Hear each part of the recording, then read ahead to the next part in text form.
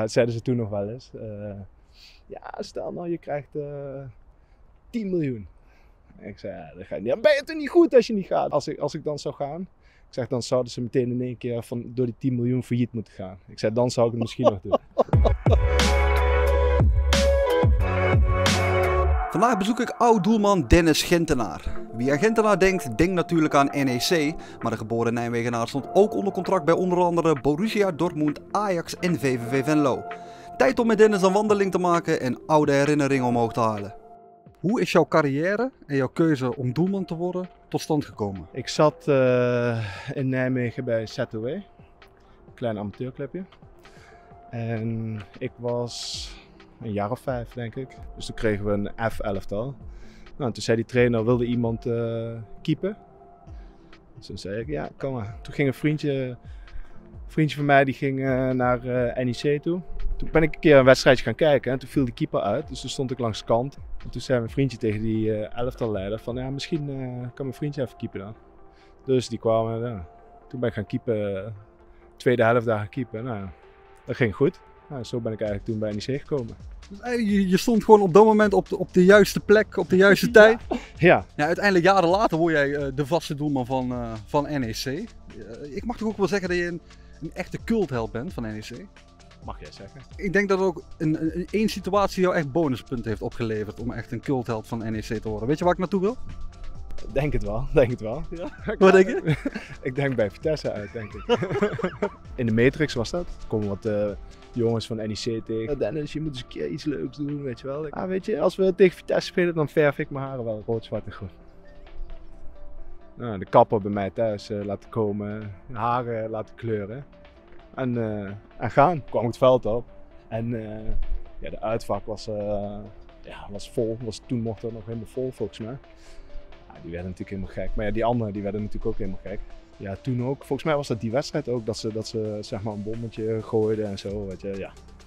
weet je als je dat soort dingen doet, dan eh, moet je ook kunnen ontvangen. Vitesse, die hoeft nooit bij jou aan te kloppen.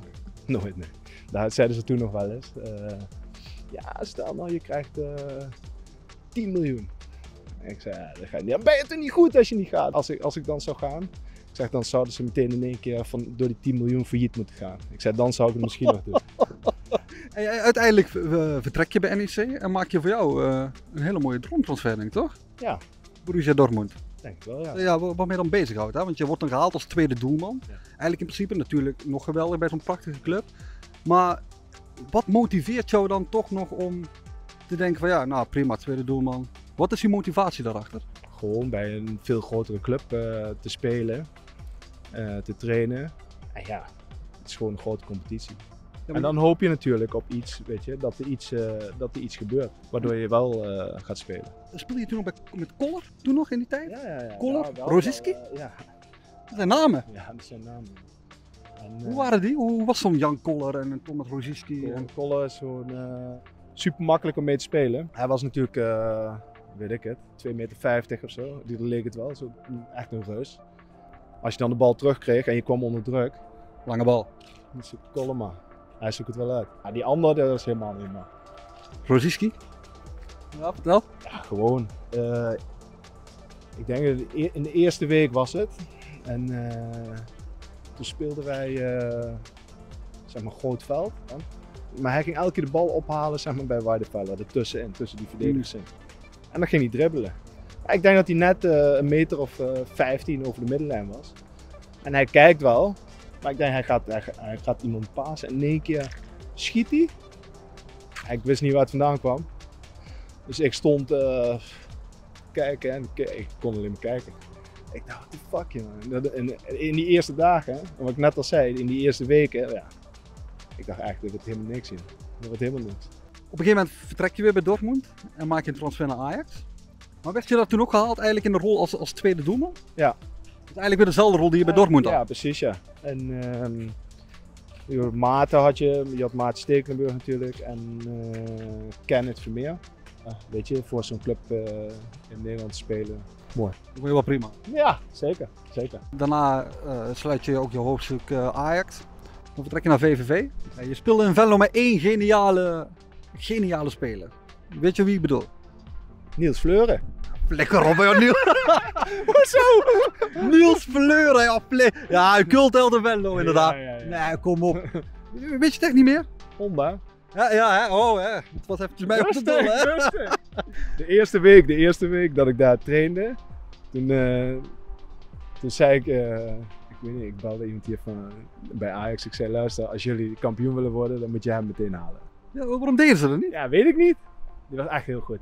Maar hij was niet super snel en zo. Maar hij kon wel vanuit eh, bepaalde, ja, in beweging, in één keer, weet je. Als jij instapt, was hij weg. Ja, uiteindelijk stop je met eh, betaald voetbal. Maar dan word je wel in één keer keeperstrainer daarna. In eh, Abu Dhabi en in Israël. Hoe komt dat op je pad? Dat Maurice, Maurice Stijn naar, naar Abu Dhabi, naar Al Wahda ging. Dus ja, ik had hem gefeliciteerd. Ik zeg, eh, mocht je nog iemand nodig hebben, ben ik paraat. Eigenlijk als een dolletje. Ja, zo, zo stuurde ik het. En toen belde hij terug. Zegt hij, ja, eh, ik ben met iemand anders bezig, maar als het niet doorgaat, kom ben je terug. Ja, ik zei, ja, prima. En uiteindelijk kwam die bij jou. Ja, dus die ander die ging niet mee. Kijk, eh, je gaat er ongetwijfeld hartstikke veel geld verdienen. Vergeleken met, eh, met in Nederland. Ja. Toch? Ja, Ja, kunnen, ja, kunnen- ja, ja. daar kunnen we gewoon lekker open Ja. en eerlijk over zijn.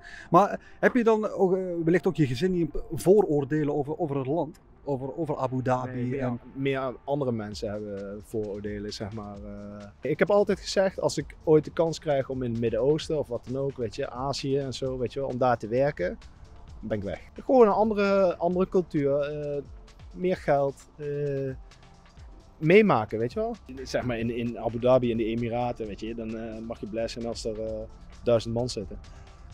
Bij sommige wedstrijden.